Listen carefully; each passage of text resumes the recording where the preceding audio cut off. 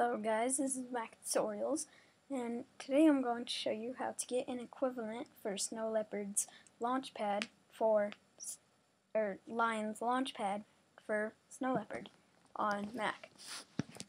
So I have Snow Leopard installed. If you don't, then you should install it because you need it to get this. And what you type in is quickpick dot zip media fire.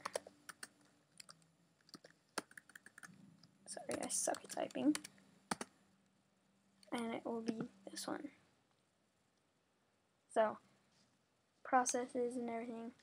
So, then you download it. Download it, and in your downloads, the .zip folder should pop up.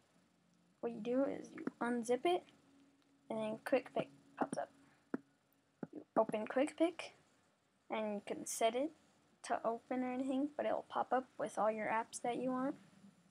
And then press uh, command comma and it'll bring up the preferences.